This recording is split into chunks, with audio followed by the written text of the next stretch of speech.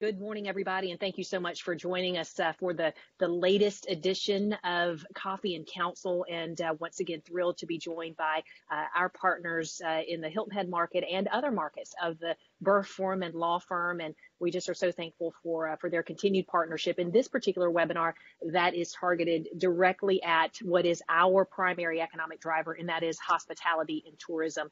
Uh, we're so thankful that Burr Forman continues to uh, to promote and and and give free of charge this quality programming uh, to our local businesses, to our small businesses uh, that that need it most. And uh, goodness knows, um, I, I, don't want to play a, a, pun on this, but um, for restaurants and and theaters and arts groups, and again members of our tourism and hospitality community, your plate is full right now. There is a lot going on, uh, but perhaps some things that uh, you could continue to need to think about when it comes to um, uh, legal issues in your business, uh, you're going to just get a, a great uh, a great rundown of information that again these attorneys are dealing with all day, every day, and uh, are the experts on uh, what potentially you are facing or could face in the near future. So uh, put your thinking caps on. Again, the Hilton Head Island Bluffton Chamber of Commerce is thrilled to bring you yet again another great morning of quality information. And uh, Melissa, again, thank you to your team, uh, you and Scott, Corky, uh, John Carroll. Um, we're so thankful that uh, that you're with us on Hilton Head and can provide uh, this expert analysis and, and insight on legal issues. Thanks, Hannah. We certainly appreciate it. Good morning to everybody, and thank you to you and Bill Miles and the Hilton Head Bluffton Chamber team. We at Burr do appreciate the opportunity to partner on these events, and we look forward today to bringing some valuable legal information to those in the hospitality sector. We started this series this year, um, our Coffee and Counsel series, and you know, we were hoping to have some coffee with you in person, and unfortunately, due to COVID, we've uh, been in this virtual mode. But the goal as we continue forward um, later this year will be to get back to some in person events we had um, an event in February that we kicked this series off with, which was a labor and employment um, update. We then had a couple of speakers on PPP loans and loan forgiveness and tax issues in March. Um, those can be found on our website at burr.com if you missed those and have any interest in those. But today, we're going to be focusing on legal issues in the hospitality sector. And, you know, my name is Melissa Azalea Kenny. I'm a partner on the labor and employment team. I also lead the firm's immigration practice. And I'm going to start us off today on some labor and employment issues, but I am very happy to be joined by three of my Burr Forman colleagues um, who do have experience working in the hospitality sector. And they're going to be speaking with you for about 20 or 25 minutes today.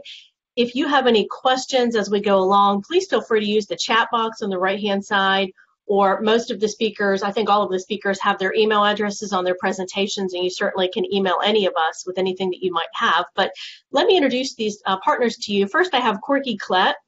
Corky's a partner on our intellectual property team in our Charleston and Columbia offices.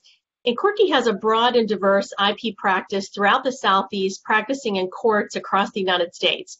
He specializes in patents, trademarks, and copyrights, and today he's going to talk to us about those things and how they relate to the hospitality sector.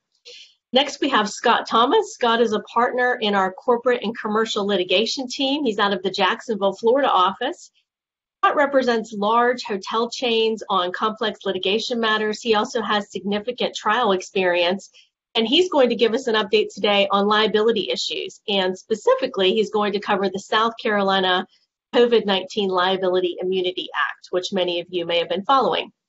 And last but not least, we have John Carroll. John's an attorney on our real estate team in the Hilton Head office. And he also has a practice developed in alcohol licensing where he helps clients navigate hospitality and food and beverage regulations. We like to think of him as our resident beverage lawyer. So today, John will be sharing some information with you about alcohol beverage licensing and related issues. So with that, I will um, share my screen, get us started today on um, some labor and employment issues that might be on the minds of many employers. Hopefully everybody can see my screen there in a moment. Okay, so um, I want to just cover a couple of things. Uh, first, about COVID 19 vaccines and testing. I know we're getting a lot of questions on that. Um, and you know what employers should and shouldn't do and what they can require and, and, mandate versus what has to be voluntary. We are also going to give a quick update on the mask mandates and cover South Carolina Senate Bill 177, which relates really to protections for those perhaps who don't want to get a vaccine.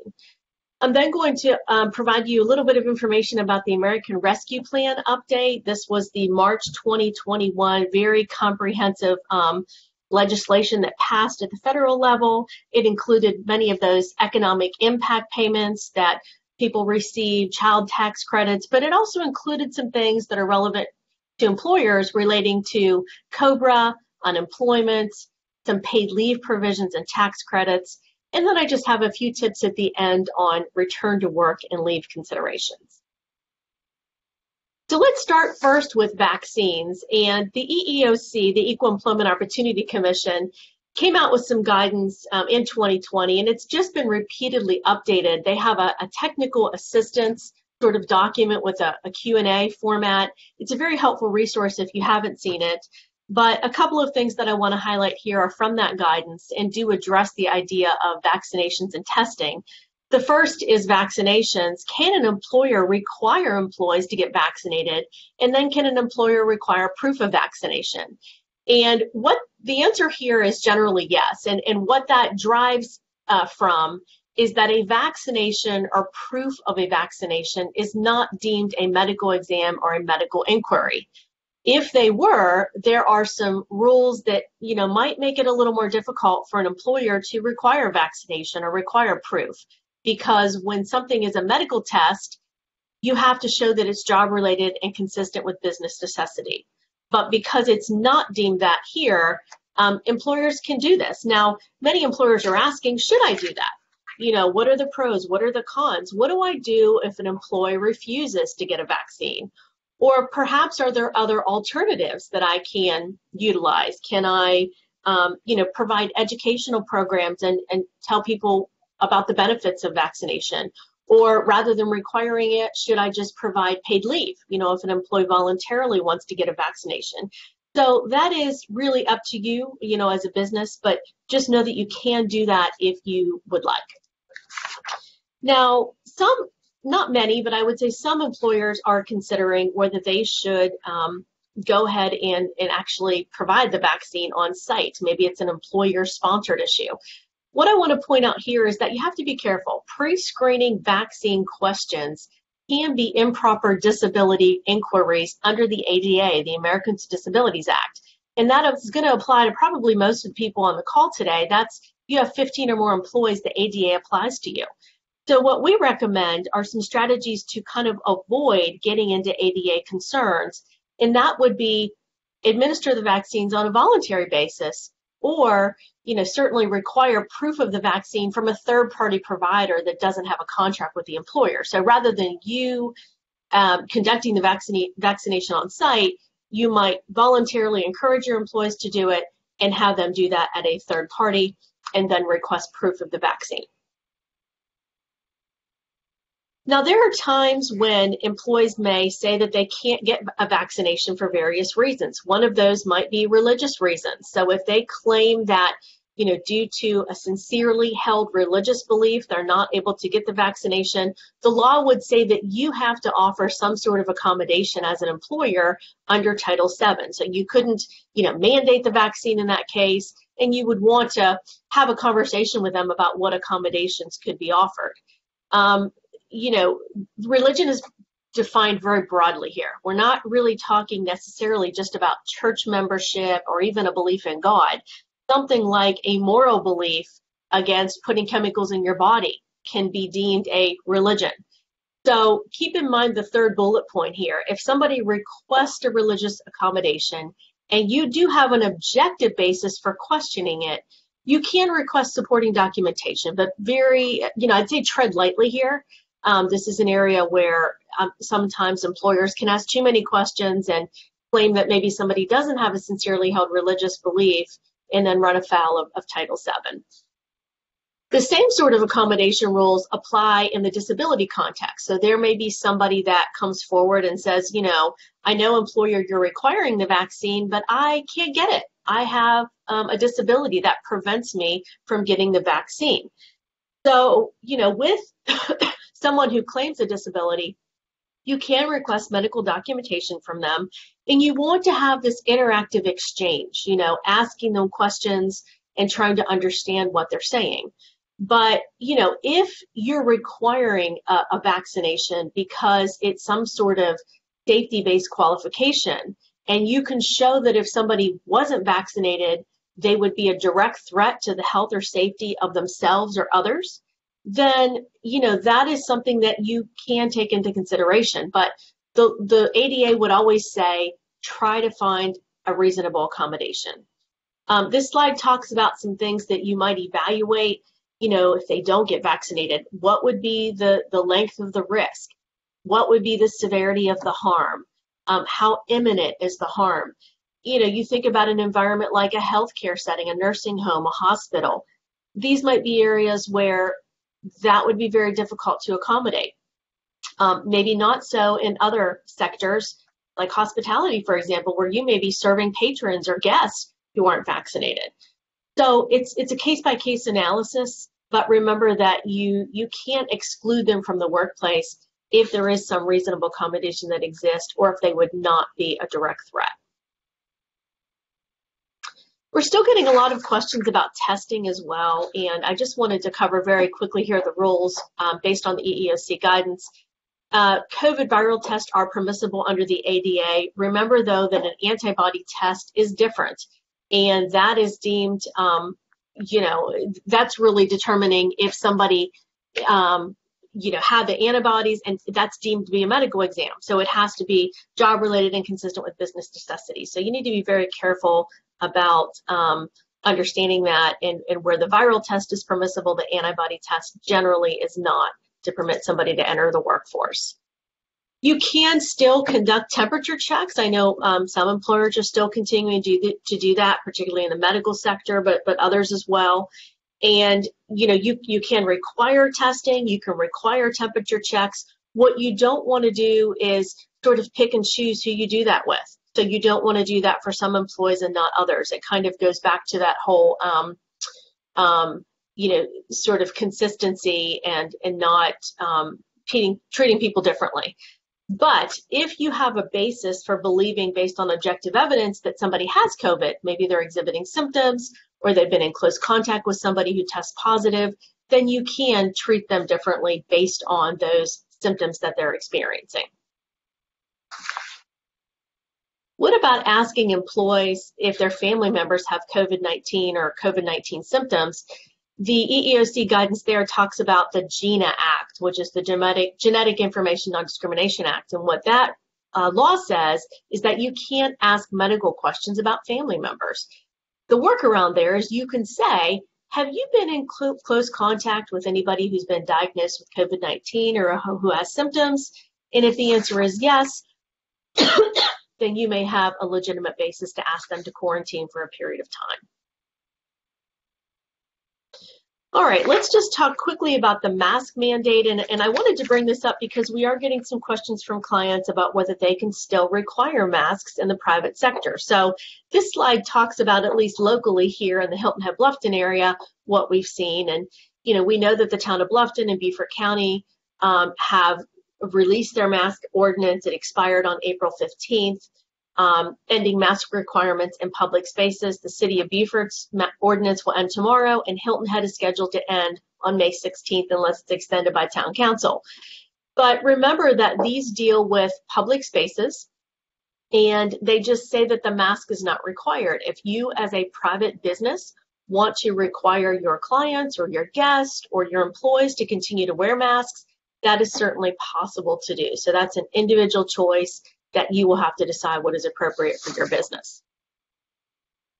And last but not least on this topic, I want to talk about this COVID-19 vaccination bill that's in this, um, it, it's actually passed the Senate, but it um, is now being debated in the House before a particular committee.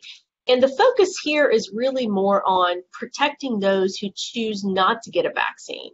So what it says is that vaccinations are voluntary, that an employer cannot take adverse action like, like a demotion or a termination or a suspension against someone who doesn't undergo a vaccination, and that you can't require isolation or quarantine if somebody chooses not to go through the vaccination process. Now, certainly if they have symptoms, they've tested positive, something like that, you, you would have some flexibility there. But just by virtue of saying you haven't been vaccinated, therefore you must isolate or quarantine, this bill would say no can do. There is an exception for those organizations that are treating or caring for vulnerable populations. I've listed that here on the slide. And, you know, this is going to be your nursing homes, your hospitals, something like that, but probably not hospitality. Now, the bill does not uh, prevent, you know, encouraging, promoting, or administering vaccina- vaccinations. And it even says that an employer can offer incentives to employees who elect to be vaccinated. You know, we had a question from an, a client this week on that. And I think I do think you have to be careful about incentivizing monetarily or otherwise vaccinations because you could get into some disparate treatment arguments with people about, well, you know, why did you offer it to this person but not this person? So I do think you have to be careful about offering incentives for vaccinations. Um, it also does say that you, as an employer, can still mandate quarantines or isolations if somebody's diagnosed with COVID or has symptoms, close contact, those sorts of things. So it'll be interesting to see, you know, how this um, bill unfolds. Like I said, it passed the House, passed the Senate, currently in the House. It is being followed by the chambers across the state and um, we'll have to see how it unfolds. All right, on quickly to the American Rescue Plan Act of 2021, and, and I know these slides have a lot of information, but this is really recent stuff, and I thought it was helpful and, and, and valuable to make sure that you were aware of it. And the first thing that I want to mention here relates to COBRA benefits. And COBRA, for those of you that uh, may not be familiar with it, is the health care continuation coverage. So when you have a group health plan and somebody terminates or they reduce hours and they then would go off the group health plan, you have to offer them COBRA coverage if you have 20 or more employees for a certain period of time. And usually the premium cost is paid by the employee. It's about 102%. I think it can be up to 102% of the health insurance premium cost. So it's it's quite expensive. Well, the American Rescue Plan has now indicated that employers must offer free COBRA health premiums between April 1st and, April, and September 30th for those that have lost coverage. Um, and they, they base that on this term assistance eligible individuals. And I've kind of listed the, the categories that can apply there. So if you were enrolled, if you had an employee enrolled in COBRA on or after April 1st because they reduced hours or they were terminated, then they wouldn't be entitled to this free COBRA coverage. Um, and that could last, you know, for the full 18 month of COBRA um, eligibility. If they get on another group health plan or have another reason to terminate coverage, of course, it, it ends at that point. The assistance eligible individuals also applies to um, somebody who maybe previously elected COBRA, well, previously could have elected COBRA but declined coverage, or they were on COBRA and then they discontinued, maybe because it was so expensive. And if they would have had COBRA existing past April 1st, they may also qualify for these free COBRA payments. Now, this doesn't apply if somebody terminates voluntarily, although that's not defined in the rules. It also doesn't apply if somebody's terminated based on gross misconduct. But the key here for you as an employer is knowing that you may have to offer free COBRA coverage, but also that you can get an employer tax credit against your Medicare taxes. And one point that I want to make here is know who gets the tax credit. You know, if you are a fully insured plan, you're going to continue to pay premiums to your carrier, but your carrier gets the credit, not you. If you're fully or partially self insured, you would get the credit. So just make sure that you're aware of this. A lot of times in settlement agreements, we do negotiate COBRA payments that we pay as consideration for the release of an agreement, but this kind of makes that interesting as well. So um, be aware of the, the new COBRA rules. Let me jump quickly to the paid leave under the American Rescue Plan. And, you know, some of you may be able to think back to the days of the FFCRA, Families First Coronavirus Response Act. It wasn't that long ago, right? and it ended on December 31st, 2020. That law required employers to provide paid leave to employees if the employer had less than 500 employees. So a lot of businesses had to do this. That expired December 31st, um, 2020. Actually, my slide there I said 2021, but it, it expired on December 31st, 2020. And what we have now is still a voluntary program. So effective April 1st, an employer can get paid leave, paid sick and FMLA leave credits if they voluntarily provide the leave through September 30th.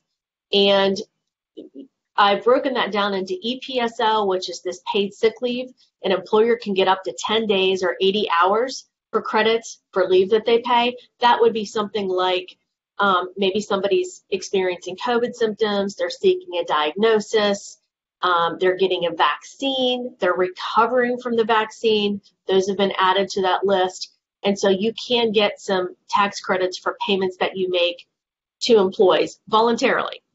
The other piece is this EFMLA. That's limited to 12 weeks of EFMLA. Um, it's a $12,000 aggregate tax credit that you can get. But the key here is they've expanded EFMLA reasons. So you might recall that it was really just childcare closures or school closures before. Now it's expanded to the reasons that are covered under the EPSL. So it's also for the COVID vaccine, recovery from the vaccine. So lots of opportunities here for employers that voluntarily want to offer this paid leave and at the same time get tax credit, but not required like it was under the FFCRA. So, last thing that I want to say here, just to wrap up, is um, a couple of return to work and leave considerations. Know your handbook. And if you don't have a handbook, think about getting one. You want to assess your PTO policies and your other policies on paid and unpaid leave right now and modify those if it's necessary. You know, you can see a lot of these federal uh, mandates and laws are kind of around that area. So I think a lot of employees are sometimes confused. What does my employer pay for and what don't they? So have a clear policy that will allow you to be consistent um, on your enforcement and clarity. Stick to the policy, try not to deviate as a general rule, and make sure that you document, you know, what you've done. Also, remember to evaluate your leave request uh, for COVID or medical reasons under relevant handbook policies and laws. Don't forget about the ADA, the FMLA, Title VII. OSHA's really starting to move into a, a real space here. They have some guidelines that they've come out with. So even if you don't require vaccines, even if you don't require masks, know that those OSHA guidelines are in place and they are going to look to see if you as an employer are providing a safe work environment for your employees. The guidelines have lots of steps that employers can take to do that. And then last but not least, just really assess kind of where you stand with your workforce right now. If you laid off employees or employees were working remotely, are there any obligations that you have to bring them back?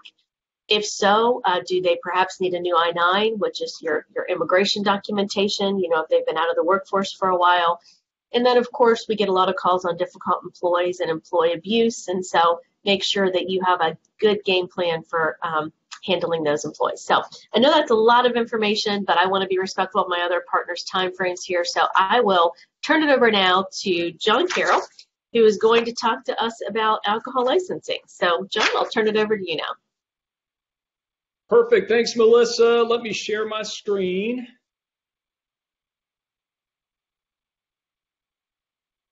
And let's see.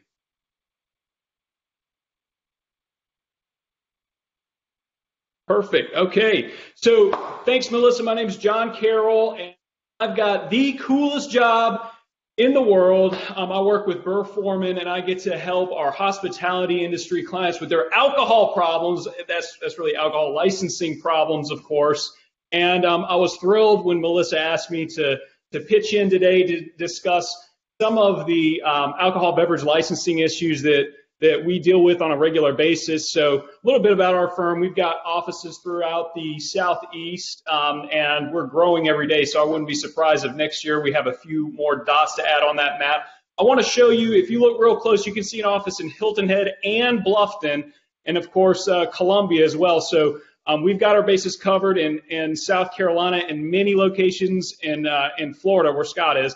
So, um, so regardless of where your um, your concept is going to be located, uh, we can help out. So, a couple things that we like to do: we help restaurants um, pursue new business concepts. We help hotels um, pursue um, existing um, uh, licensed premises and expanding that licensed premises to include additional parts of the hotel. And we also uh, assist other retail uh, restaurants in pursuing hybrid concepts like breweries. We also assist a lot of manufacturers, many uh, household name spirits that we um, that you you may even have in your cabinet at home, and and also some locally uh, grown uh, spirits. Um, and um, uh, of course, Corky Klett, who you will hear from in a little bit, um, can assist our clients with intellectual property issues that relate to pursuing new um, alcohol beverage uh, manufacturing concepts. But but one of the things that we get the most questions about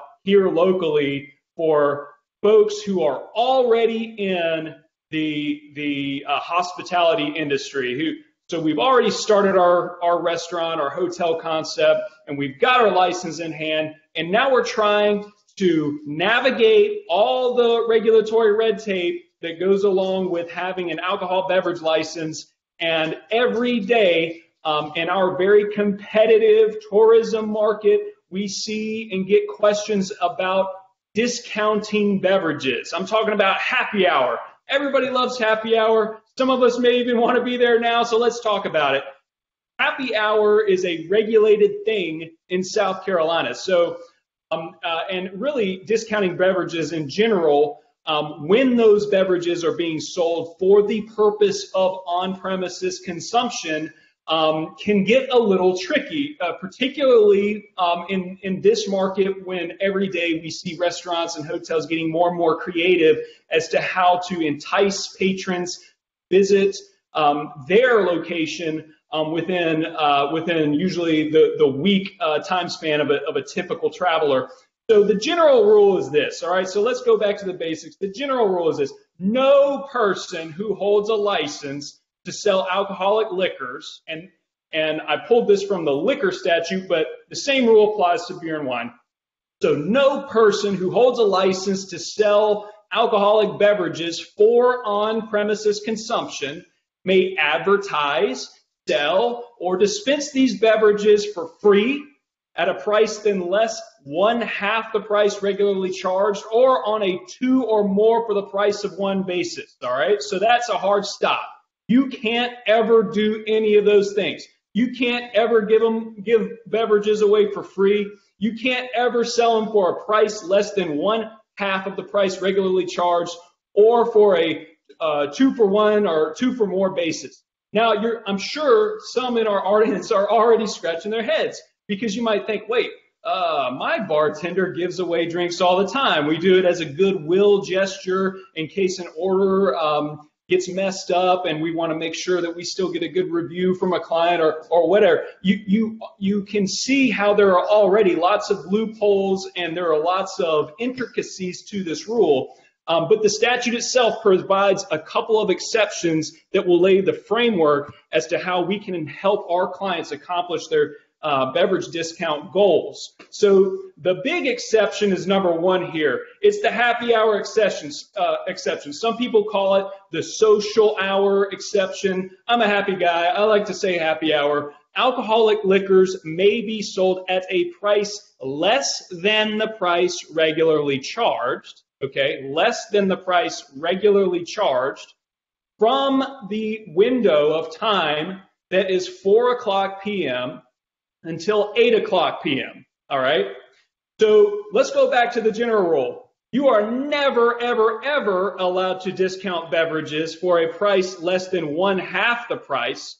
So you're never allowed to go be- below 50% of the of the menu price of a beverage, um, and only within the uh, period of time that is 4 p.m. to 8 p.m. may you sell uh, an alcoholic beverage for a price that's less than the menu price, but still higher than 50%, right? So you can't ever go below 50% of the normal regularly charged price. And you have to ask, um, you can already see how some um, uh, thrifty uh, uh, uh, uh, folks in the hospitality industry try to play games with this. So, what do you mean by regularly charged? Well, you will recall that when you submitted your application package for licensure to the South Carolina Department of Revenue, you eventually got a call from SLED. And SLED is required to do an on premises safety inspection. And one of the items they asked you for was your menu, was your menu. And you're supposed to update the menu with SLED or DOR every time you go back for your two year renewal. And the menu has food items and alcohol items, so they know the price regularly charged.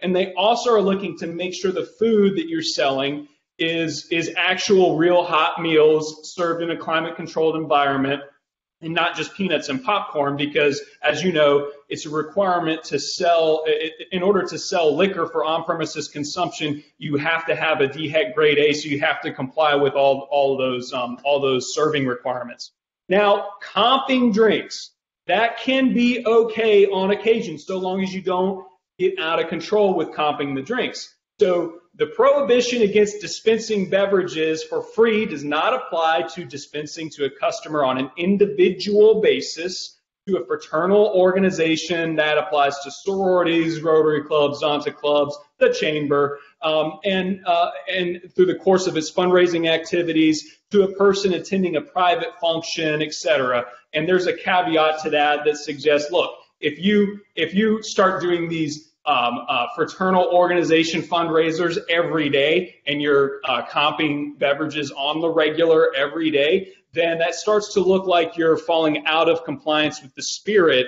of that general rule saying that you cannot just give away free beverages. But but here are some of the here are some of the interesting concepts that we have to help clients navigate every day. We've all been to restaurants where, say, after you buy a beverage or um, a food menu item, you might get a token. You can then redeem that token for, um, say, a dollar off a future drink.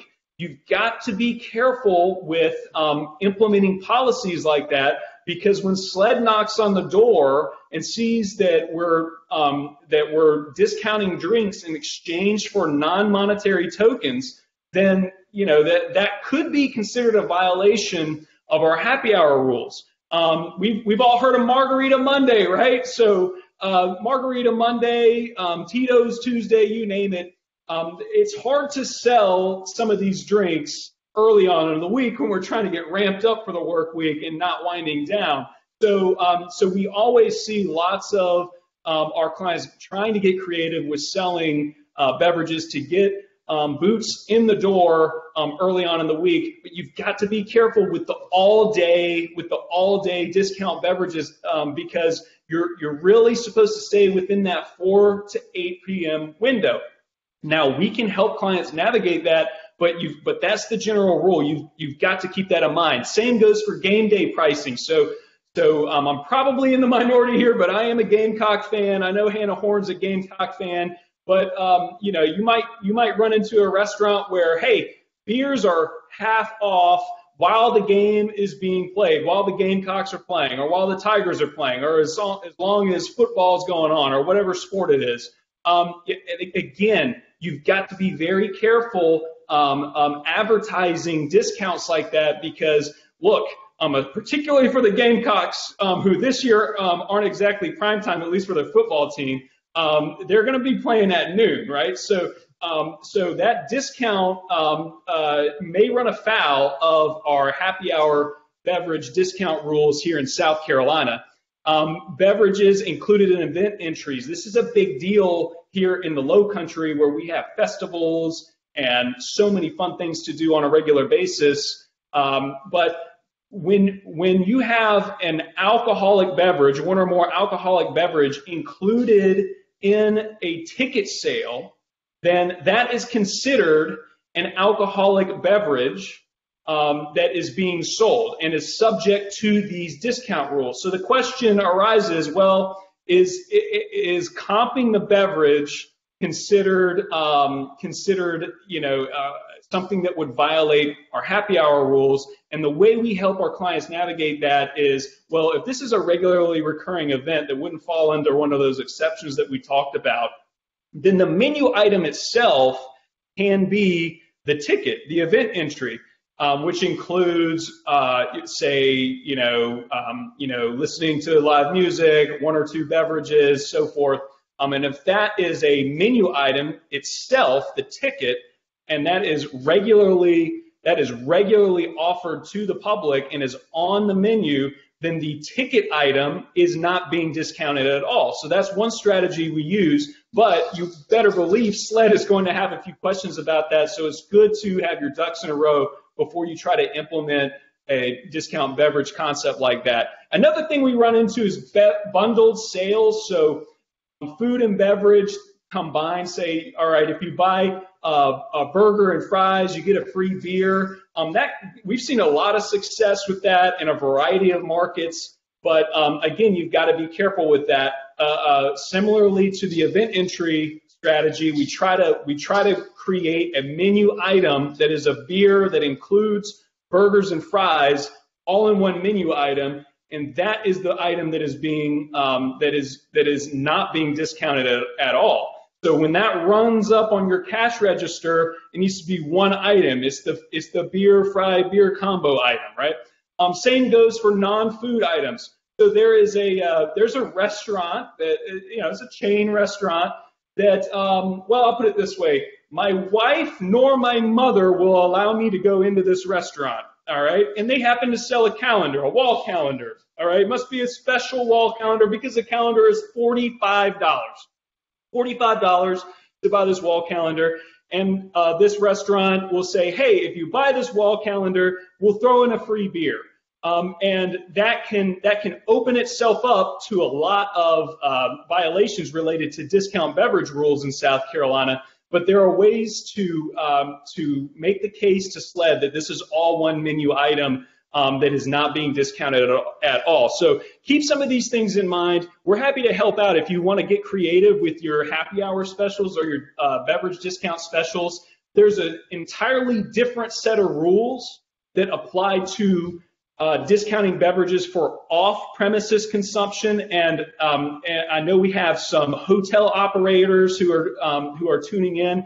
Think about your grab and go, where where you can um, you can buy a beer for on-premise, but you can also buy a beer um, for for you to take elsewhere. So um, so I know a lot in our audience have hybrid licenses. There's a different set of rules for discounting off-premises sales so, um, so keep that in mind uh, before you give us a call. But, but, uh, but that's one thing that we get a lot of questions about.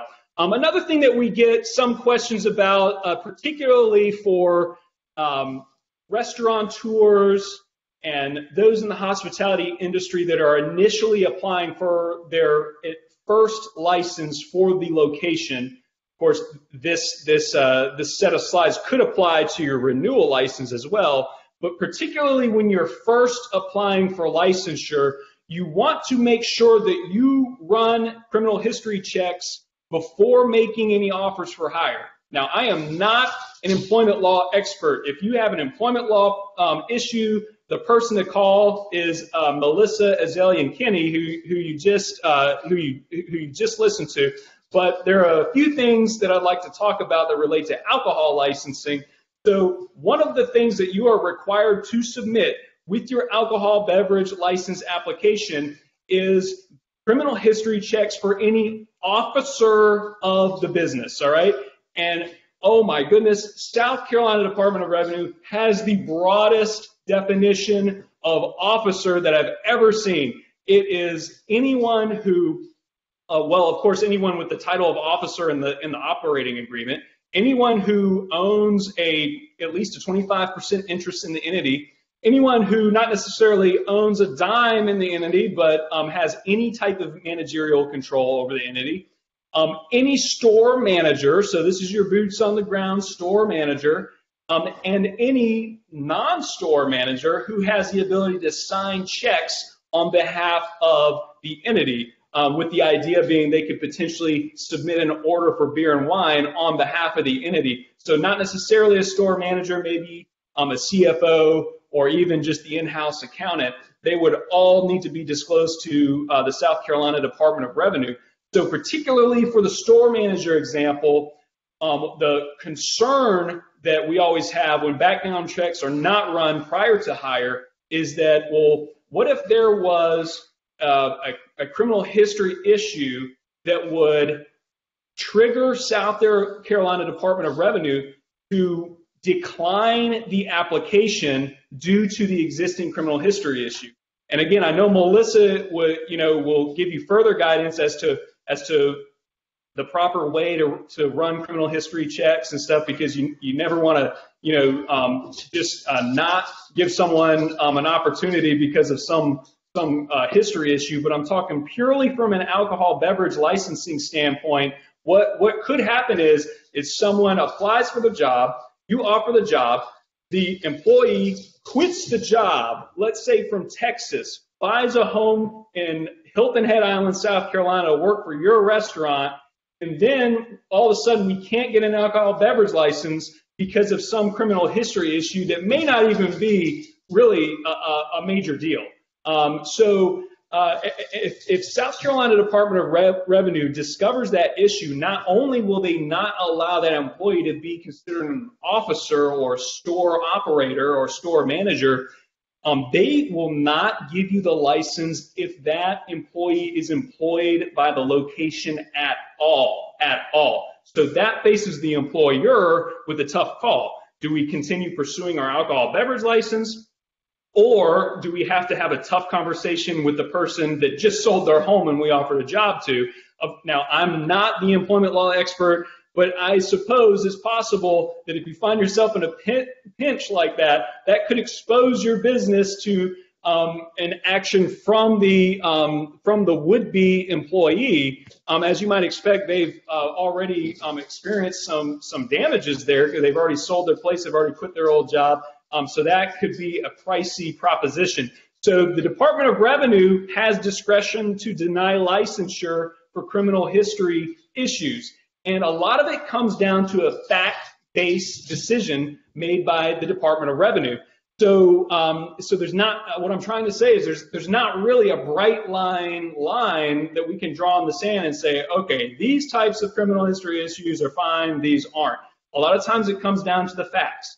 So, uh, some things that can trigger a denial are substance abuse problems. If there is time and time and time again a criminal history of substance abuse, you know what, DOR may not want to give that store manager an alcohol beverage license.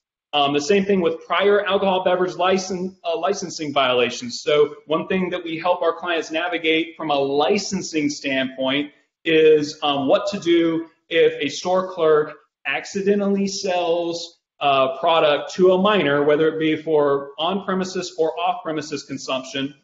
Um, how does that impact the status of the license? and we help uh, clients navigate that on a regular basis. But let's say if the uh, if the if the uh, would-be um, store manager has a history of 10 times accidentally selling alcohol to minors, then you know the Department of Revenue is going to raise a red flag there. Another red flag they're going to raise are crimes of moral turpitude. Moral turpitude. So uh, moral turpitude sounds like a big fancy legal word that lawyers learn in law school. And that is correct. That's exactly what it is. But but in a nutshell, if there's a crime whereby someone is lying in some way, say they committed fraud or stole money um, by running the books on a business, or um, you know, uh, partic- uh, also violent crimes could be a, a crime of moral turpitude, and those are always those types of crimes are always going to um, trigger a red flag with the Department of Revenue when determining whether to provide licensure. Because if this person has lied in the past, then what makes DOR confident that they're disclosing all the information that DOR is requesting in this application package? So that can trigger a red flag as well. Um, DOR has provided a little bit of guidance. Um, they in a in a prior alcohol um, beverage licensing administrative law court hearing,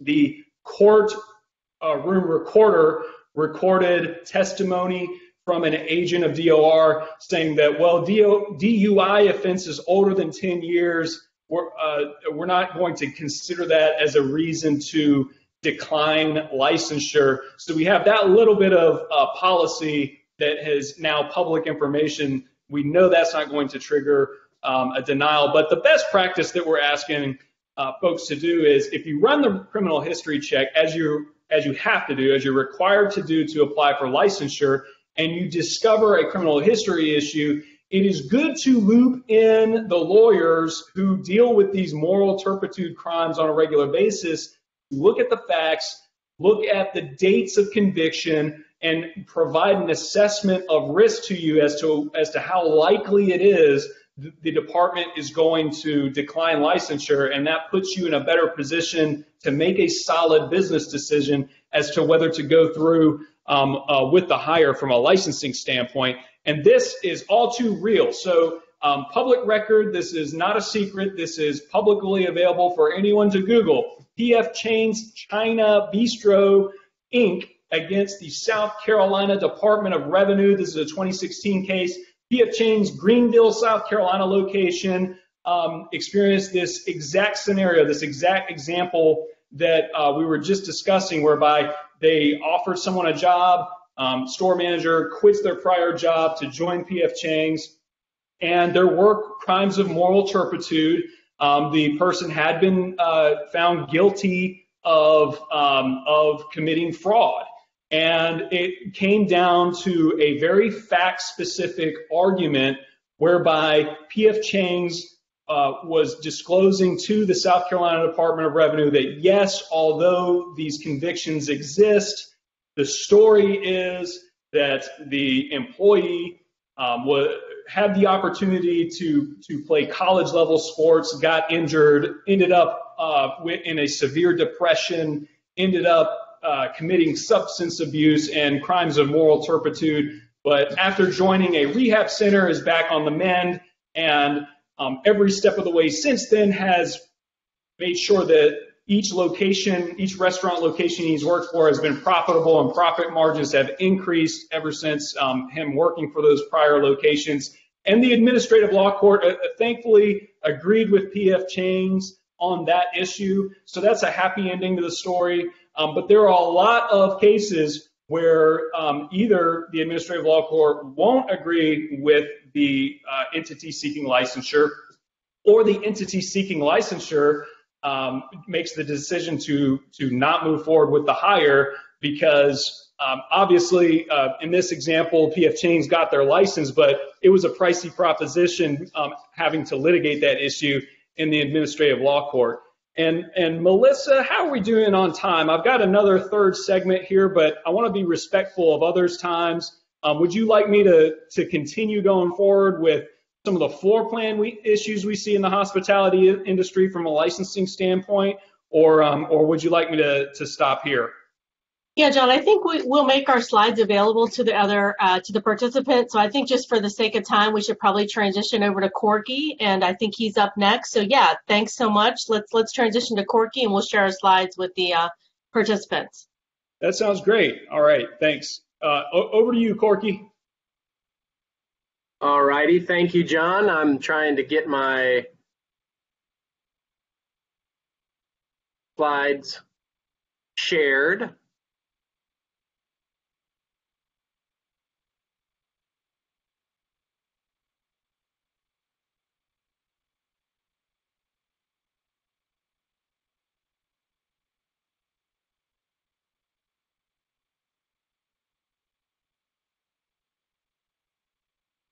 Hopefully that has come up for everybody. Um, Melissa, can you chime in to make sure that everything is on here? Yes, looks good, Corky. Okay, great. Sorry about that. Um, good morning, everyone. My name is Corky Klett. I'm an intellectual property attorney with Burr Forman. Um, I am going to chat with you this morning about intellectual property in the hospitality industry. Um, it is likely that everyone on the call is familiar with the hospitality industry, but perhaps not so much with intellectual property. Um, so there are general categories of intellectual property.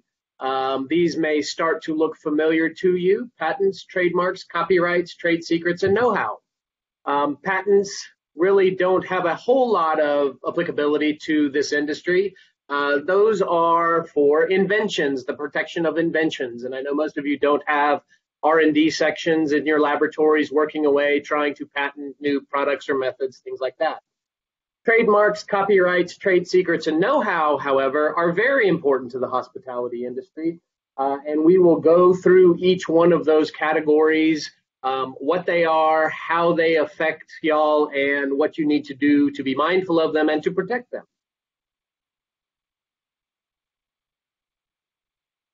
Trademarks and branding. Um, in some ways, these are kind of sort of the same thing. Um, a trademark, as most of you may know, is any word, name, symbol, or design, or any combination thereof used in commerce to identify and distinguish the goods or services of one manufacturer or seller from those of another, and to indicate the source of those goods and services. So you need to think of a trade, everyone knows what a trademark is, but you need to think of it as a source identifier.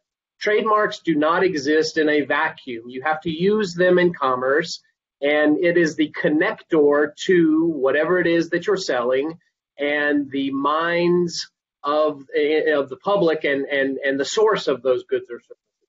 So, in other words, your trademark standing alone is, is really meaningless unless you back it up with quality goods or services. And so every time someone sees your mark, you want them to say, ah, that is the source of something that I want to buy.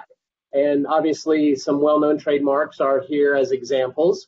Um, trademarks can um, be all sorts of different things. They can be logos, they can be designs, they can be words, um, they can be colors. For instance, one very famous um, protected color is the color pink for insulation.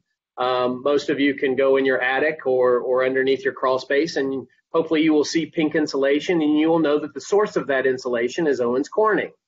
Sounds can be trademarks. Uh, not only does Harley Davidson have a shield registered trademark, which you see on the slide, but the sound of a Harley Davidson motor, motorcycle is distinctive and is actually registered so that every time you hear that sound when you're outside at Biker Week, um, you will know that it comes from a Harley Davidson motorcycle. So trademarks are very important in the hospitality industry for all of the obvious reasons. Um, that is primarily the the prominent piece of intellectual property that most of you have and use and protect um, and are familiar with. Branding, however, is a little bit larger concept. It goes beyond just use of your trademark. It is more the touchy-feely commercial impression and perception that your brand provides to the consuming public. Uh, so, so not only is branding based upon trademarks, it's based upon quality of service. You know, everything all bundled together is your brand. Um, people are aware in, in the age of social media that that you know branding is a big thing. What does branding mean? Branding is you know someone's trademark and persona and what they do and what they post and all those different things. So all of that together is branding. And obviously you want to present a positive perception of your company and your business. And you know as, as you can see from the slide um, you know again it's the perception of the consuming public. What is going on in the customer's mind um, what are you presenting to them that will make them want to buy your goods and services and become repeat customers? Um, you know you want to build that loyal customer base. And how do you do that? Well it's not just a, uh, you know trademarks alone or, or other piece, bits and pieces of intellectual property. It's the brand as as as a whole you know in total. Um, so trademarks and branding is very important in the hospitality industry for all the obvious reasons. Trade dress is another aspect of intellectual property. It's a subset of, of the brand, but it really is more the look and feel of what you do, how you do it, where you sell your goods. Um, you know, when someone goes into your point of, of, of sale, whether it be, you know, a restaurant, a hotel, whatever it is, the trade dress are all of the bits and pieces and look and feel of, of you know your trademark and you know the interior of your store and, and those sorts of things um, that, that, that come all together so that customers know where they are, what they're buying, and, and the quality associated with those goods. I've got up here a picture of a Starbucks in China. Everyone here would walk into that Chinese Starbucks and, and know that you're in Starbucks because it looks and feels and, and you know has the same atmosphere as every single other Starbucks on the planet. You wouldn't know that you were in China rather than New York or Atlanta or LA. And all of that is trade dress, but also that dovetails with with branding. Um, so so trade dress is is an important part of branding. Trade dress is a little different than a trademark. Um, but but really, you know, the the the trade dress is the look and feel of whatever it is that that is, you know, being being dressed up. Um, it's not just the physical premises; it's your website as well. Um, is there a particular color scheme? You know, what is is it whimsical in nature? What is it that sets aside your um, website and distinguishes it from everybody else's? That is all considered trade dress. Trade secrets are another aspect of intellectual property, particularly uh, important to the hospitality industry. Trade secrets are information that has either actual or potential independent economic value by virtue of not being generally known. The value comes from it being kept secret. It has value to others who cannot legitimately obtain the information and is subject to reasonable efforts to maintain its secrecy. All three of these things are required for something to be a trade secret. Now, for you guys, what types of trade secrets would the hospitality industry be involved with? Recipes, literally the secret sauce. Um, you know, we, we spoke just a minute ago about patents. Patents are something that are very powerful and, and, and are registered and issued by the government. It's a monopoly that gives you exclusive rights for a particular period of time. Uh, the bargain that is made with the government is you disclose whatever it is that you want to be patent, and in return, the government grants you a 20 year monopoly. Well, that's all fine and wonderful, but there's limits to patent protection. Most importantly, that 20 year term. What happens after 20 years? Well, whatever it is that you got patented, whatever the invention is, whatever the recipe, the formula, the methodology, it becomes public and is basically dedicated to the public domain once the patent expires. Trade secrets, however, don't have such a limitation. The only limitation that trade secrets have are for as long as you keep it secret. For instance, the KFC original recipe, the Coca-Cola formula, those are very important trade secrets that are not patented because if they were, everyone would know what they were. And at the expiration of the patent after 20 years, anyone and everyone could start formulating Coca Cola. Keeping it as a trade secret, however, means that the Coca Cola formula from the 1800s is still intact and still proprietary and still in effect, and Coca Cola Corporation is the only ones that can blend Coke. Um, so trade secrets are very important.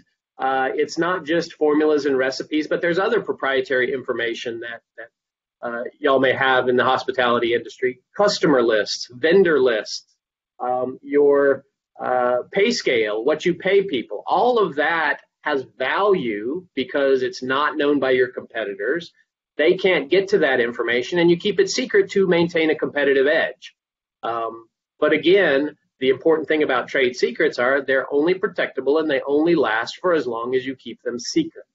Um, and, and that's why you've got the big, it's confidential, it's proprietary, you don't let anyone know because as soon as the cat's out of the bag, it's no longer a trade secret and it's no longer protectable.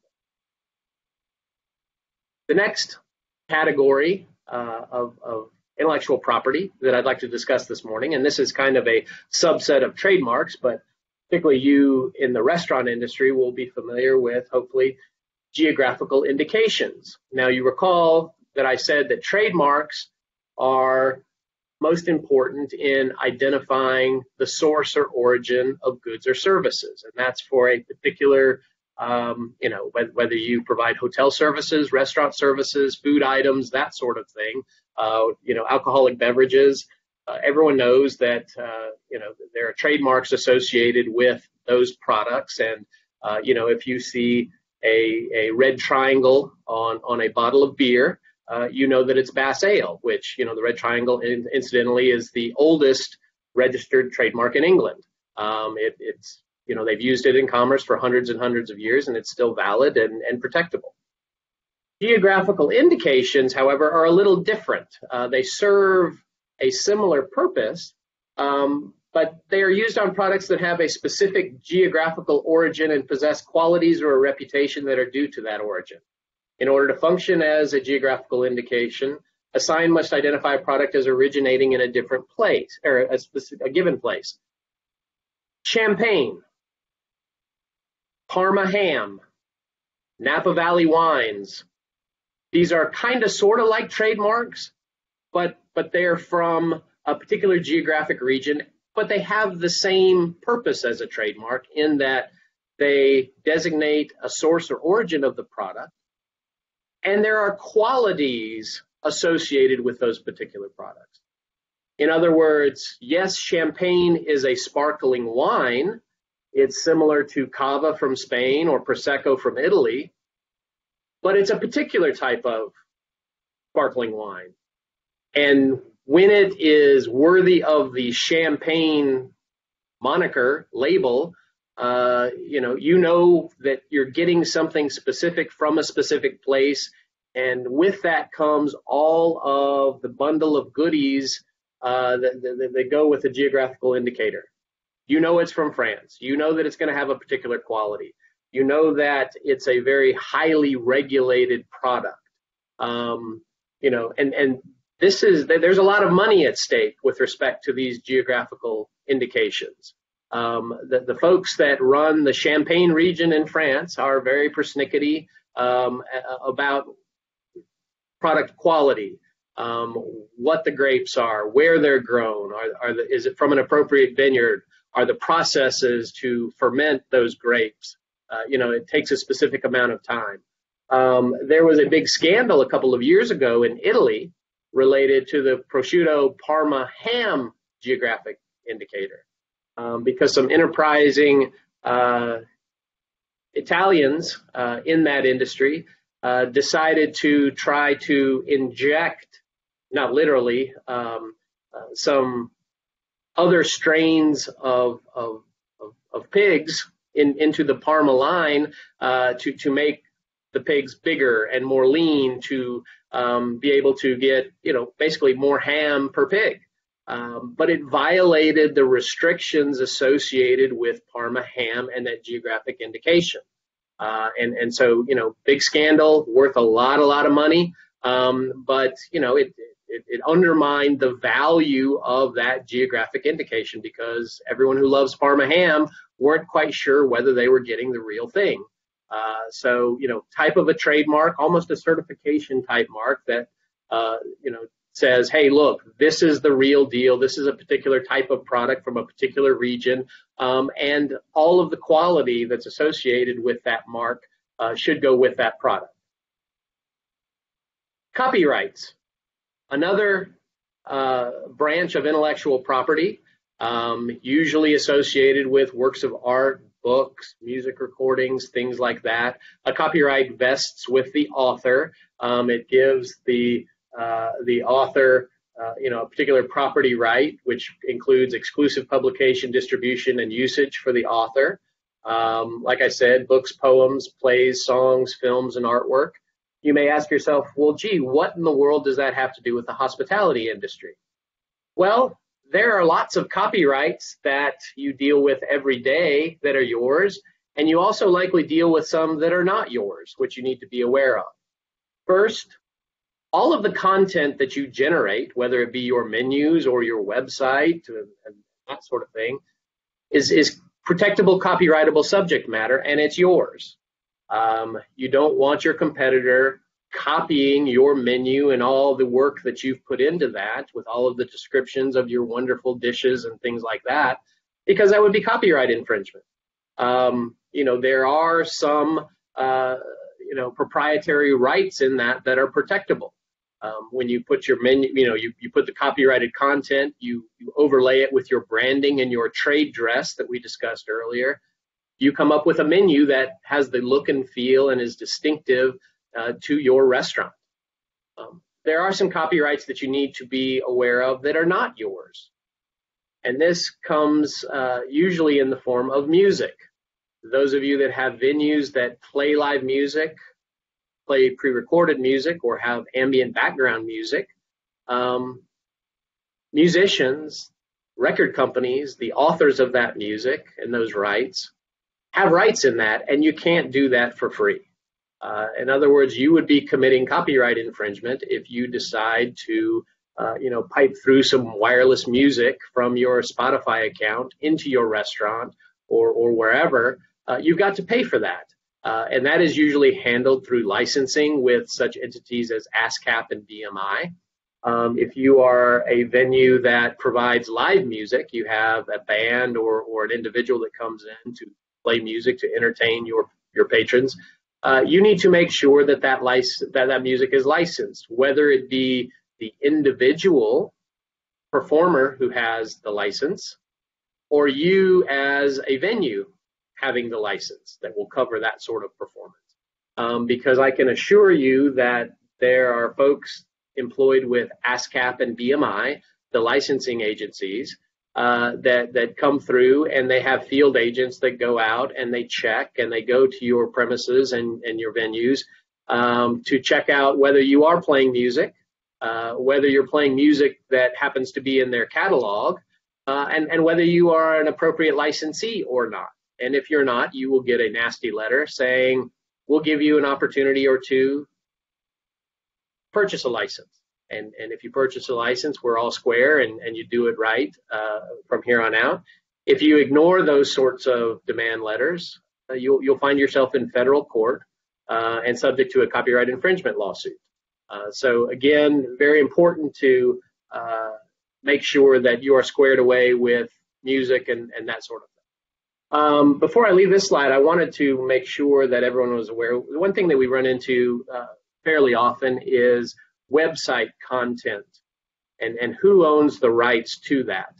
Well, obviously, usually the, the content is, is owned and, and the copyrights reside in the author of that content, which is usually you.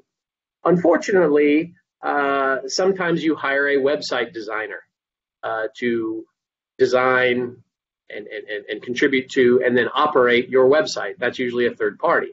I would caution everybody to make sure that you have agreements in place um, that everything that your website designer contributes or designs on your behalf or, or, or, puts on your website is yours rather than theirs. In other words, it needs to anything that they do needs to be a work for hire with the rights going to you. And if you don't do that, and, and I've run into this situation a number of times, Oftentimes, the web designer decides at, at, periodic intervals to increase the price of, of their website maintenance and design. And you say, well, then, you know what? I, I really am not interested in paying that much. Maybe I might look elsewhere for a, a new web person. And, and your existing person says, well, that's fine, but we don't have a work for hire agreement in place. And so everything that's currently on your website belongs to me because I own the copyrights in it and and and I didn't convey those to you. There's no agreement that says they are yours. So go ahead and and get a new designer, but you're going to have to start from scratch. You're not going to be able to export the entire content to to another entity. Uh, so they've got you over a barrel. So I, I would I would caution that that all of the appropriate agreements be in place to ensure that all of the intellectual property, and in this case particularly copyrights, belong to you um, as the generator of the content, uh, even, even if you've got third parties doing it for you, to ensure that you own it rather than them. Employee issues, and and and this is uh, of, of concern because you know the the hospitality industry um, at times can be a little transient, uh, particularly you know in the in the kitchen or or staffing, you know waitresses, chefs, cooks, that sort of thing. But all of those people have access to your intellectual property, um, particularly on the trade secret side. Uh, you know, you, you bring in a new chef and you, you, you teach them how to make uh, your signature dish. Um, you know, the, the, the accountant person that you hired knows which vendors you use, what prices that, that, that you pay for all of your, your goods and services, that sort of thing. Um, and, and in a transient environment, what do you do to protect your intellectual property if, if there's a high possibility that those folks may walk out the door um, and uh, either just leave, join your competitor, start their own restaurant.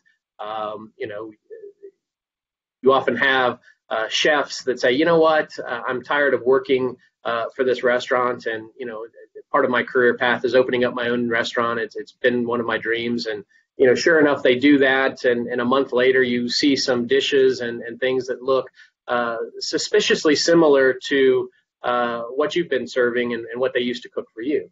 Um, so again, uh, not being an employment law expert, but like like Melissa, but seeing these sorts of issues time and again, um, you know, that sort of thing. You know, in addition to being trade secrets, is is quite simply know-how.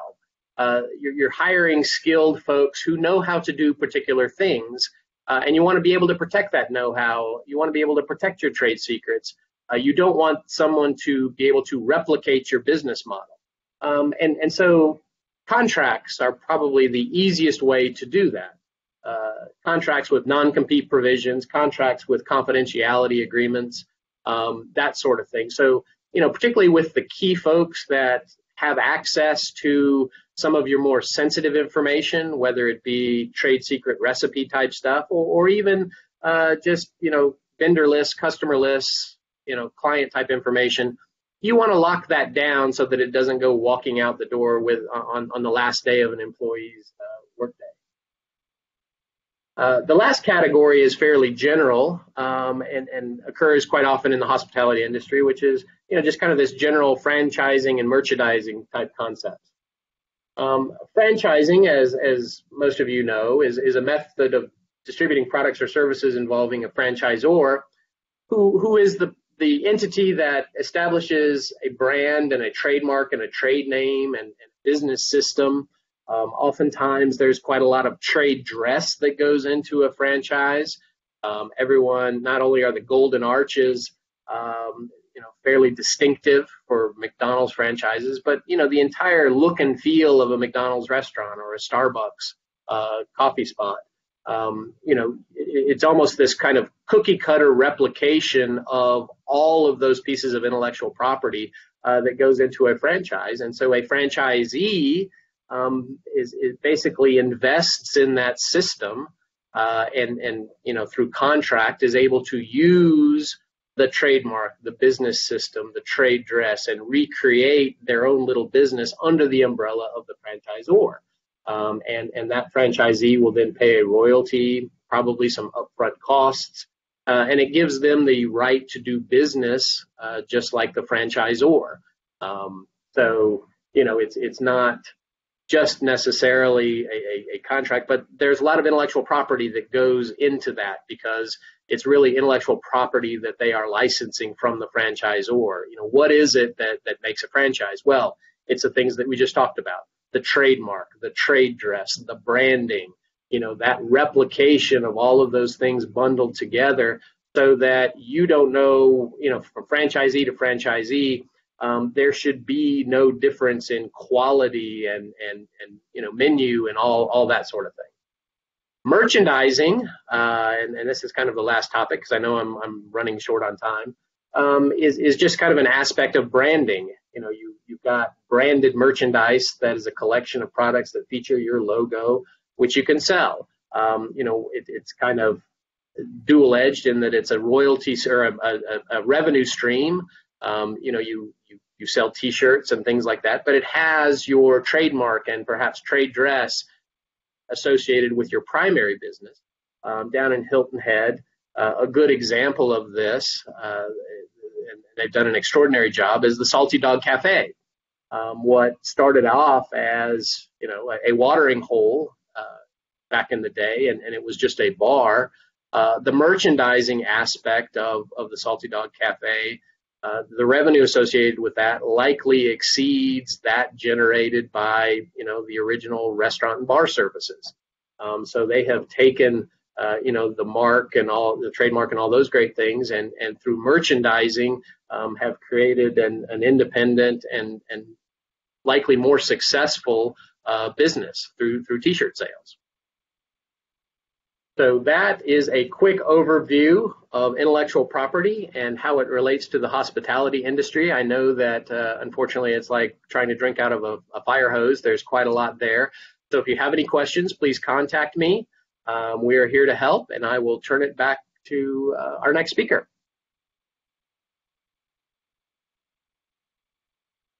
Corky, thank you very much. I think that's me uh, down here in Jacksonville. Um, and because I'm the quintessential Florida man, actually Katie is going to share my slides instead of me. Um, I, uh, as, as Melissa said when we started, I am a litigator in the Burr Forman Jacksonville office. As a litigator, I argue for a living, um, which my family actually likes because since I argue all day, I don't have it in me to argue at night, and I'm something of a pushover at home. But certainly my kids like that. Um, I'm here, although from Jacksonville, I'm here talking today. When, when Melissa gave me the opportunity, I, I left at it in part because um, I just finished my own term on the St. Johns County um, Chamber of Commerce Board of Directors. And St. Johns County is the area here that encompasses really St. Augustine, Ponte Vedra Beach, an area that, in terms of hospitality issues, um, certainly um, uh, uh, resorts, hotels, inns, uh, probably somewhat similar to Hilton Head. Um, but because my service on the, the chamber here, I appreciate the, the utility and, and, and of, of, of, gatherings like this and hope I can add to that. And also, I've had the pleasure in my career to represent both nationally branded uh, resorts uh, as well as kind of the locally owned uh, mom and pop uh, bed and breakfast. And kind of wanted to use that experience to talk to you today about what we'll generally call, Katie, if we want to move on to the, uh, give you an overview of what we want to talk about quickly. Um, which is we call it innkeeper liability. But those of you, by the way, who are attending who aren't don't run an inn or a, or a hotel, don't go anywhere. Uh, I think you'll see a lot of this really applies to almost any business that accepts patrons, folks off the street for the purpose of doing business. So what I'd, I'd like to do maybe is talk to you today about sort of what the overview is of liability here, how that has grown into sort of extended duties to others, and then maybe most importantly, given that we have this wholly novel uh, coronavirus pandemic that we're hopefully looking to get back to full business and working on how that might affect that. So uh, moving forward, um, some of you may be thinking, well, what do you mean innkeeper? Uh, are you talking about just simply a bed and breakfast? Uh, no, no. As you, any of you who deal with lawyers too much probably know, we tend to use words in a different sense, or we use them in an archaic sense. Uh, we probably think it makes us sound smarter. It just means we're harder to communicate with. Um, but what I gave you here is the sort of black letter definition of innkeeper one who keeps an inn or house for the lodging and entertainment of travelers. The keeper of a common inn for the lodging and entertainment of travelers and passengers. There are horses in attendance for reasonable compensation. I, I wanted you to see that. I don't know how many are still taking people by horses who have attendance, but that gives you an idea of how old the concept is in the law. Um, almost equally old is recognizing sort of what an innkeeper is, is that an innkeeper has a general duty, and that is the duty to exercise reasonable care for the safety of their guests and patrons.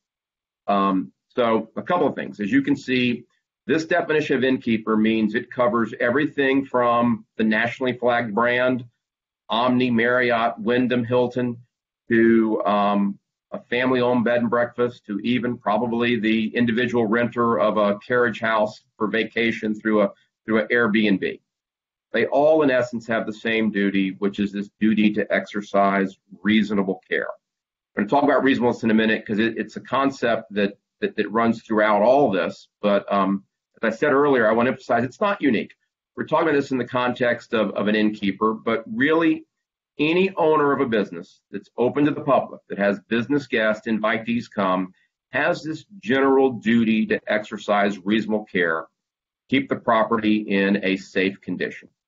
Uh, that duty gives rise to what I would call the garden variety premises liability claims.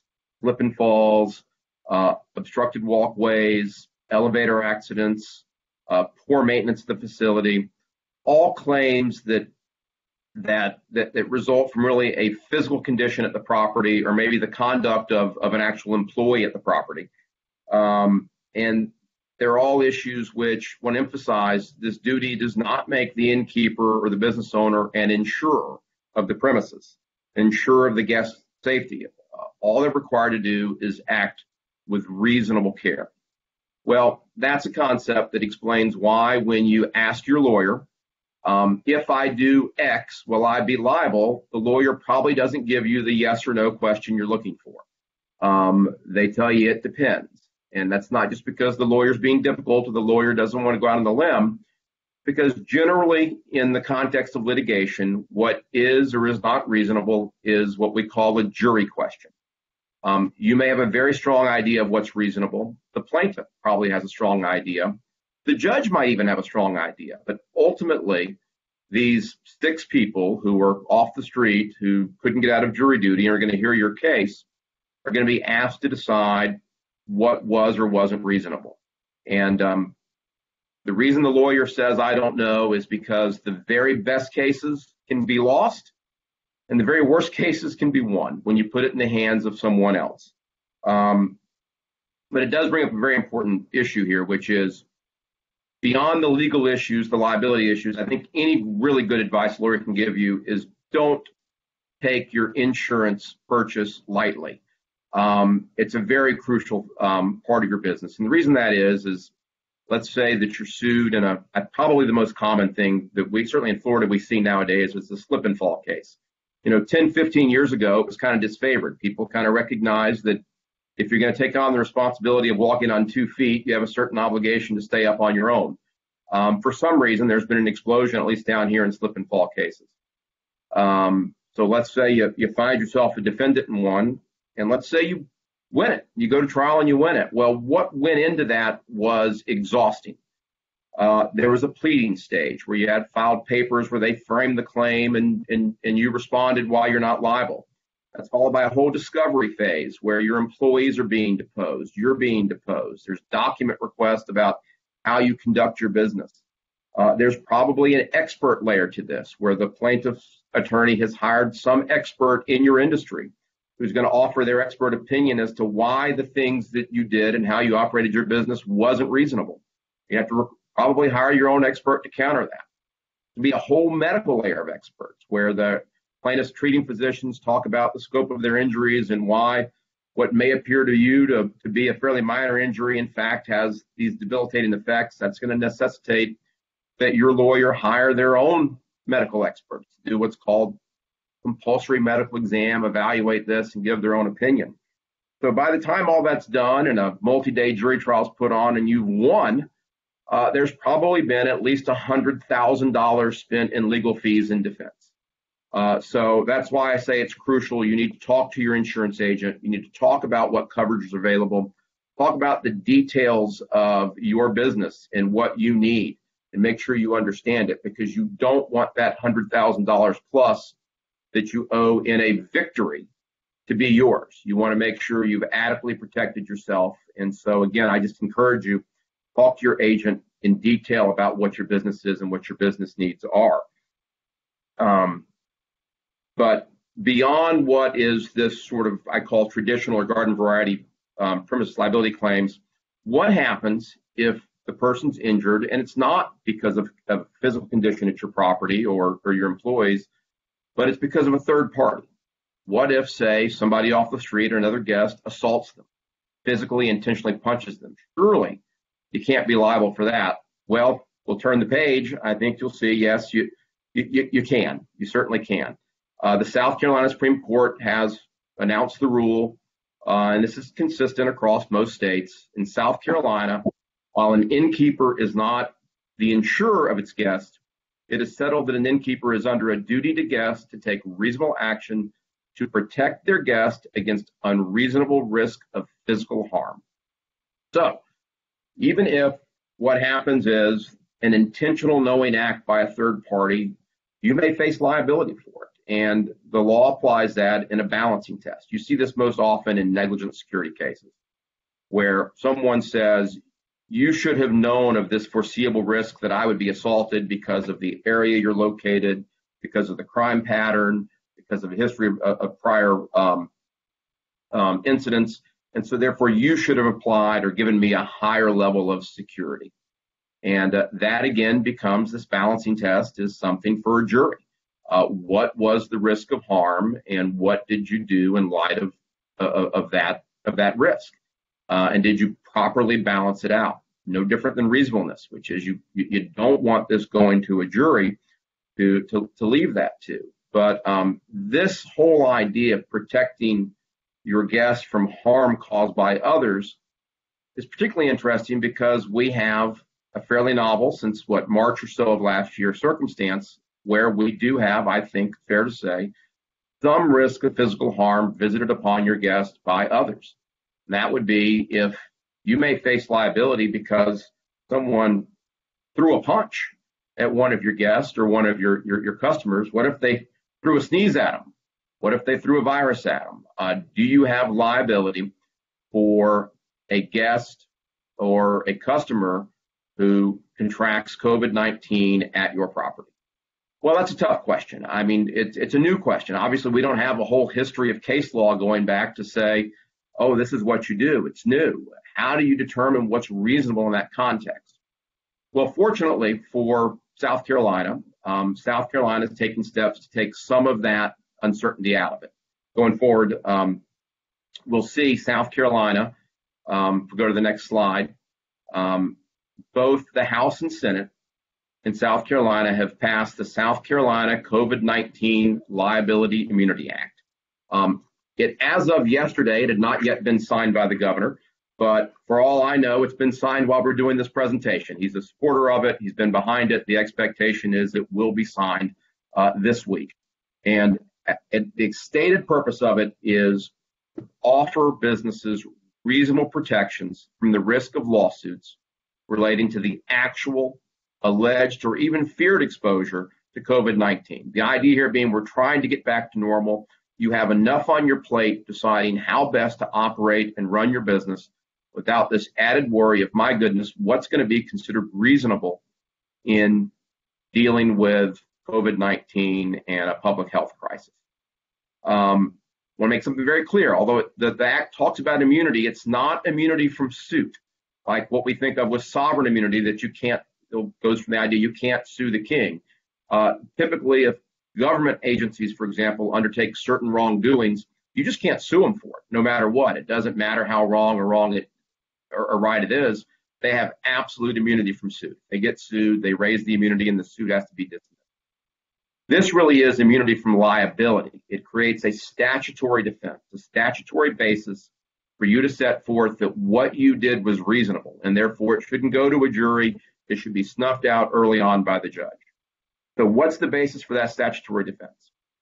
What the statute says is that you are presumptively reasonable if you adhere to public health guidance applicable at the time the conduct giving rise to the coronavirus claim occurs. So you have to adhere to public health guidance. If we move forward, um, we'll talk about how that works quickly. I know we're running low on time here, but a couple things. So in terms of applying this, who's covered? A covered entity is any for-profit or not-for-profit business entity organized in any form whatsoever. So again, while we're talking about innkeepers, this applies to any business entity. Um, it also applies to covered individuals. Who are those? Those are directors, officers, employees, representatives of the covered entity. I do think there's a, a potential hole in the law. I don't think it was intended, but um, it does raise a question, particularly if we're dealing with Airbnbs or, or, or smaller um, um, um, potential rental opportunities, is what about a sole proprietor? What about a husband and wife who rent the carriage house or something like that? Uh, is that a business entity? Um, I think probably if it's engaged as a business, that was what the legislature I would assume was intended. But if I was the plaintiff's lawyer and I was bringing the suit, I would certainly argue that a sole proprietorship uh, is not covered by this. That that probably goes back to your planning issues with insurance. You're going to operate a small business like that. You, you should talk to your lawyer about business organization and what's the best way to do this to avoid liability. If I was, I would think if someone were renting out a Airbnb, a small piece on their property, they would want to make sure that a claim didn't expose them to a loss beyond the, the, the business entity that held that. So the coverage is very broad. Um, what is covered? If we go forward, we'll see that also was very broadly defined. It's a coronavirus claim. They don't have to have it. It deals with the actual alleged or feared exposure to getting the virus from really any operation that takes place, not just on the premises, but in connection with the premises. So if you're providing shuttle service to uh, restaurants or to the beach or something of that nature, and someone can somehow magically trace their contraction to the shuttle, that's covered too. So this is very broad coverage of who's covered, very broad coverage as to what is covered. But going forward, wrap this up, particularly down here in Florida, um, an interesting question for us would be what does it mean that you have to follow, adhere to public health guidance? Uh, here in Florida, uh, since at least September of last year, there's been a very large distinction between what the federal government through the CDC has recommended and what we're doing in Florida.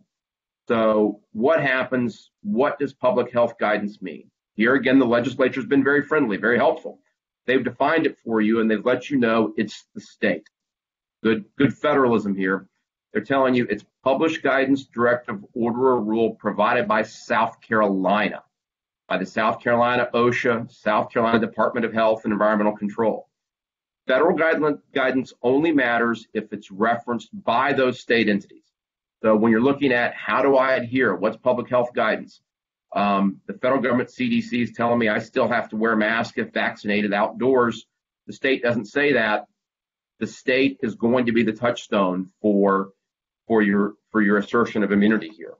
Um, going forward, though, what's not covered? What's not covered um, are if they can show that a business, an innkeeper, was grossly negligent, reckless, willful, intentional misconduct, or a failure to make any attempt to adhere to public health guidance. I think this is important here. What, what this law really does, you are not going to be the insurer or a regulatory agent of the state. It's not your obligation to gain immunity that you faithfully, in every instance, implement every single detail of state guidance. Remember, the touchstone here still is reasonableness. You have to reasonably adhere.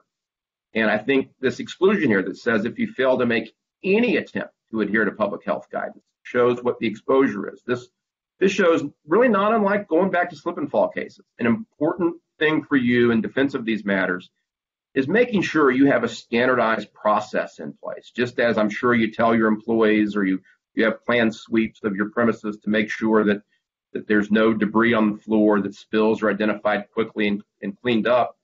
You probably should make an effort to have someone in your business whose responsibility it is to track updates from your state, what requirements are on a regular basis, so that when someone sues you and says such and such mask provision wasn't wasn't man wasn't complied with, and that's going to be the case. You it's a very difficult thing when you're running the business. How how hard do you push your customers to comply with things? If you can show that you had a process in place where you made the um, affirmative effort to identify these standards and apply them, that's going to make it much more likely that a court's going to be able to say for you, you get the benefit of the South Carolina Liability Immunity Act. Um, and last thing on, on, on this particular topic, what else is not covered? You'll see it's of limited duration. One good thing, it's retroactive. It dates back to March 13, 2020, which I believe was probably the date South Carolina first declared a public health emergency. It's going to extend through at least June 30 of this year for claims that arise during that period, or could be later, 180 days after the final state of emergency is lifted. Um, so this is not something, hopefully, hopefully this is all going to be moot. We're all going to be vaccinated or have a, an immunity that, that this will be in our rearview mirror. But for this prime period of uncertainty or trying to restore your business and get back to, to full uh, operating ability with the least amount of concern, the least amount of ambiguity and unknown, um, the state is adopting for you this, I think, hopefully very um, reassuring uh, act to let you do that. Um, but again, it does it doesn't alleviate obligations here. And it, it, it, it means that you really need to make it a point to have a point person um, that if this happens, if you get such a claim, that you have in place an established procedure, you can show a court that when they ask, when they send you discovery that says, please provide your procedure for identifying and implementing the um, public health guidance, that you can affirmatively answer that. This is what we did And uh, that is something that hopefully will allow you to get back forward, going forward. Let us go back to concern about those um, general garden variety claims, which unfortunately in this day and age are unaffordable. I mean, unavoidable. There's there's a there's a lot of folks out there um, looking for those. So um, I end this again with the things you can do so you don't need me, and that's when a guy who makes his living doing it says you don't want me. Um, make sure your insurance coverage is what it is. Make sure you have in practice things that are that are that are proactive to, to, make sure not only these things don't happen, but that you uh, you have a good valid defense when when you do find yourself unfortunately in that circumstance. Again, I appreciate this great opportunity to talk to you all. I, am hoping this is the groundwork for me to get a personal visit to Hilton Head soon. But uh, thank you very much for your time and, and thanks for letting me participate. I really appreciate it. So I, I think probably back to you, Melissa. Yes, thanks, Scott. That was great information. I enjoyed hearing your comments on that South Carolina COVID Immunity Liability Act. I mean, what timely information. It sounds like the governor's going to sign that any day. So thank you for reviewing that. And thank you to Corky and John as well. That was great information. So I appreciate you all uh, participating and thank you to our attendees. We hope that this information is valuable. And if you have any questions, certainly feel free to reach out to any of us via email or phone. We're happy to answer any questions you might have. Our next event will be on July 29th. We'll be covering intellectual properties in more detail. So if you have an interest in that, please feel free to, to join us again. And with that, I will wrap us up for the day. Thanks so much and have a great day.